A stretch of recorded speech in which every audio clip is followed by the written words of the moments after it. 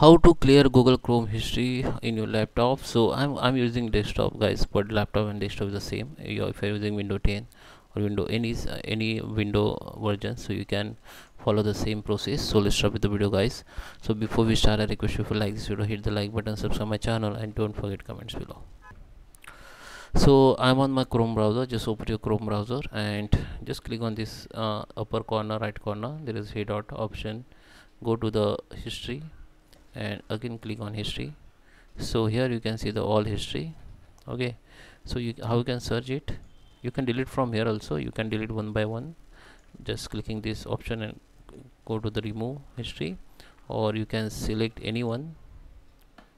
Sorry. Okay select anyone and hit the control and a. Then all hit the control and a and you will see the all history will be selected now what you need to do just click on delete it. So it will be delete.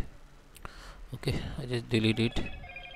So it is delete or you can go to the this option clear browsing data and this option will be open come to the advanced and you can select the time range.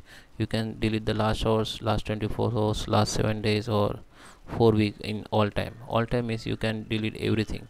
So here you can select what you want delete. So just select what you want. There is a password also autofill data caches image anything. If you want to delete history only then unselect everything from here and select the browsing history only and you can also delete cookies and uh, download history. So this is download history this is browsing history and this is cookies and other site. So you can select uh, uh, three of this and you can clear the data. The data will be clear automatically. So I just clear the data. The clear has the data has been clear. So that is how you can clear the history in your laptop. So I hope you like this video. Please subscribe and thank you for watching